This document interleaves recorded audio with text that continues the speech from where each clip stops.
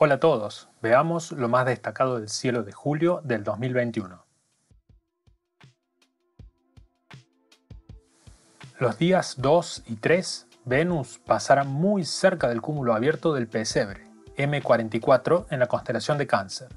Los podrán ver bajos en el horizonte noroeste después de la puesta del sol. Van a estar realmente cerca, tanto como para poder verse en el mismo campo de visión de un telescopio de campo amplio o de un binocular. Durante los dos días van a estar muy juntos, notándose el movimiento de Venus contra el cúmulo.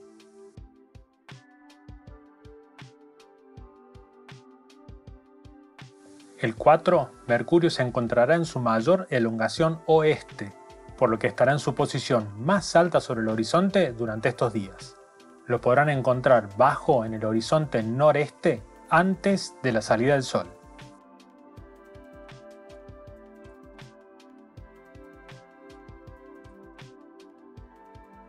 Ese mismo día 5, la Luna se encontrará en su apogeo, el lugar en su órbita donde se encuentra en el punto más lejano de la Tierra, a 405.342 kilómetros de distancia.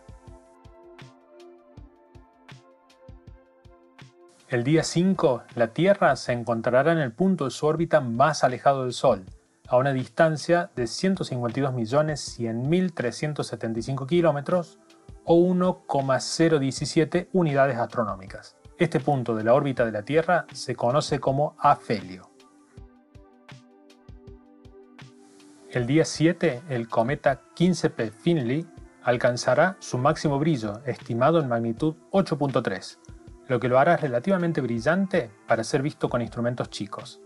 Este cometa tiene una órbita periódica de 6 años y tiene una distancia de intersección con la Tierra muy baja.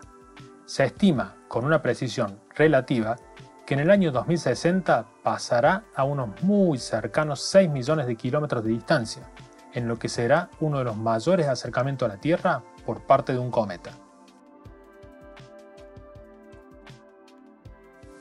El día 8, la Luna se encontrará en conjunción con Mercurio. Los podrán encontrar bajos en el horizonte noreste, antes de la salida del Sol.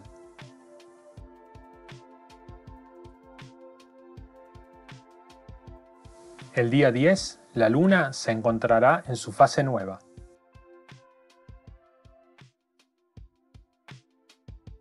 Los días 12 y 13, la Luna, recién saliendo de su fase nueva y con apenas una línea iluminada, se encontrará cerca de Venus y Marte, los que a su vez estarán en una conjunción muy cercana, tanto como para poder ser vistos en el campo de visión de un telescopio o binocular busquen los bajos en el horizonte oeste después de la puesta del sol.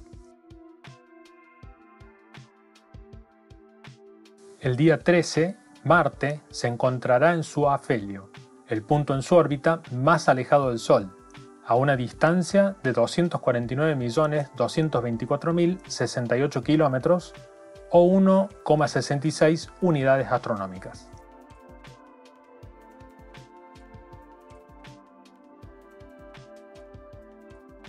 El día 16, Plutón se encontrará en su perigeo, el punto más cercano a la Tierra, a 33,31 unidades astronómicas de distancia. El día 17 se encontrará en oposición, su punto más alejado del Sol. Lo veremos brillar con una débil magnitud 14.9, lo que lo hace un objetivo difícil, salvo para telescopios de mayor apertura.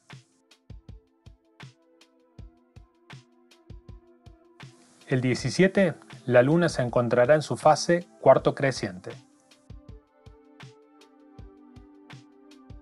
El día 21, Venus se encontrará en conjunción con la estrella Regulus. Estarán tan juntos que se los podrá observar en el mismo campo de visión de un telescopio o binocular. Los podrán encontrar bajos en el horizonte oeste después de la puesta del Sol.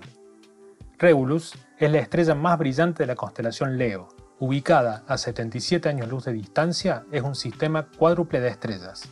Su nombre proviene del latín y significa pequeño rey, ya que se creía que gobernaba los asuntos celestiales.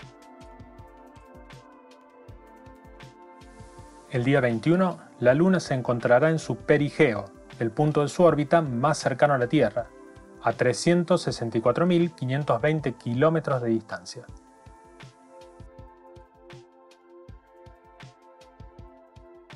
El día 24, la Luna se encontrará en su fase llena y en conjunción con Saturno. Se los podrá observar juntos toda la noche.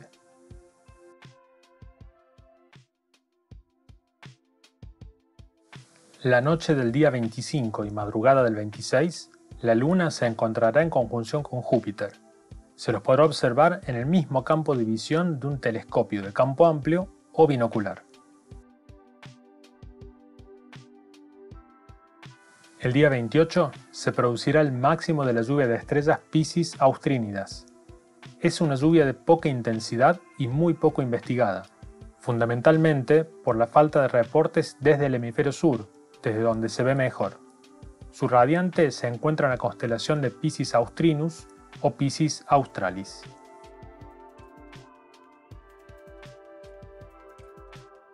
El 29 Marte se encontrará en conjunción con la estrella Regulus. Los podrán observar en el mismo campo de visión de un telescopio de campo amplio o de un binocular, ya que estarán muy cerca. Busquen los bajos en el horizonte oeste después de la puesta del sol. El día 30 se producirá el máximo de la lluvia de estrellas delta acuáridas del sur. Se estima que esta lluvia producirá entre 16 y 20 bólidos por hora, los que no suelen ser muy luminosos. Se ve mejor desde el hemisferio sur y se cree que está asociada al cometa 96P Majors. Su radiante se encuentra en la constelación de Acuario. Cerrando el mes, el día 31, la luna se encontrará en su fase cuarto menguante.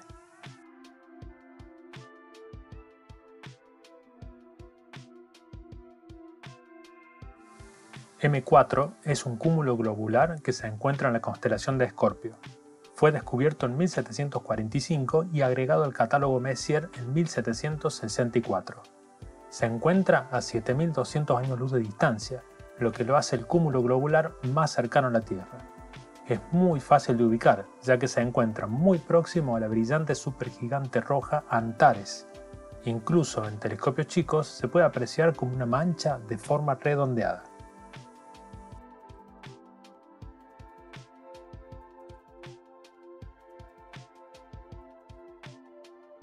Siguiendo por la zona, cerca del aguijón de Escorpio se encuentra M7, un cúmulo abierto grande y brillante que puede ser observado fácilmente a simple vista. Ptolomeo ya lo describió en el año 130 como una pequeña nube siguiendo el aguijón del escorpión, de ahí que se lo conozca como el cúmulo de Ptolomeo. Consta de unas 80 estrellas y se encuentra a unos 1000 años luz de distancia. Su proximidad al aguijón y al ser tan brillante lo hacen muy fácil de localizar, siendo un excelente objetivo para quienes estén iniciando en astronomía, observándolo a simple vista con binoculares o telescopios de cualquier tamaño.